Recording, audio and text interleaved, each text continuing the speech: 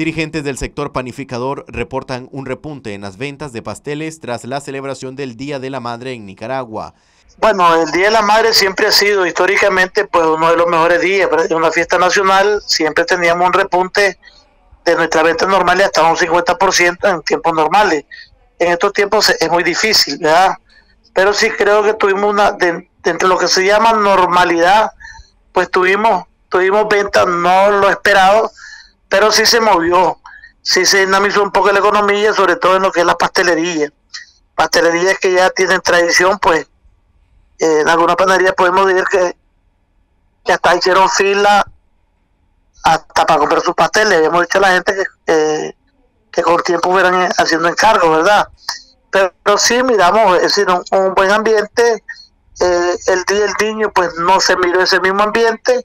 Esperamos, pues, el Día del Padre, que son las tres grandes fechas, ¿verdad? Que nosotros tenemos, el Día de la Madre, el Día del Niño y el Día del Padre. Pues... Estrada apunta dos aspectos en esta coyuntura. El primero, que el precio se ha mantenido y el segundo, que hubo más ventas en los departamentos. Eh, mm, desde muchos años no se mueve el precio, ¿verdad? porque hemos ido, como dicen, haciendo pasteles de media libra y haciendo pasteles de cuatro onzas. ¿verdad? Entonces, pues no, no se movieron los precios. Sí, se lo digo con toda, con toda, ¿cómo se llama? Seriedad. Un pastel bueno es un pastel que es caro, un pastel que no tiene la calidad, pero es un pastel más barato. Entonces un pastel que no va, viene bien empacado es un pastel más barato, pero un pastel con un buen tomo, con una buena caja, es un pastel que, que, tiene su precio.